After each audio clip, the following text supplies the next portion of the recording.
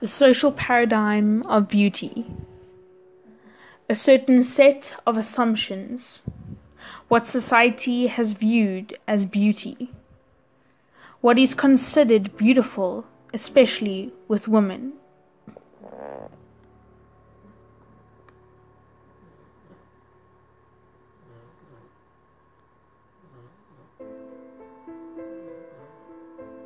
Over many years, the social paradigm has changed.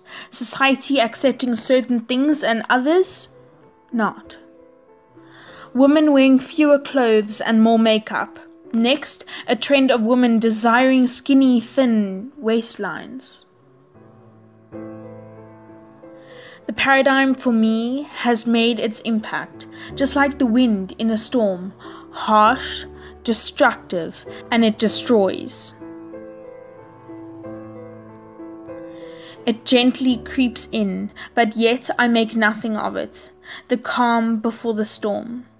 It starts hitting slightly more and more until the final storm.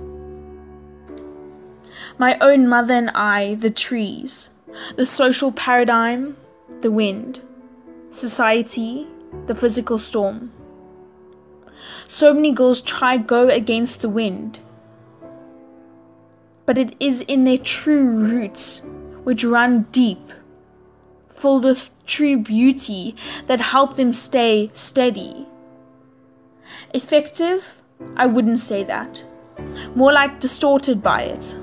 Always trying to be comfortable in my own skin and feeling beautiful just the way I am. The paradigm will change and is going to change for the good. As a society, it is our duty to change it because beauty is pain, pain is beauty, is in the eye of the behold. Her skin, my skin, was as clear as the sky was blue, just like my face is filled with pimples.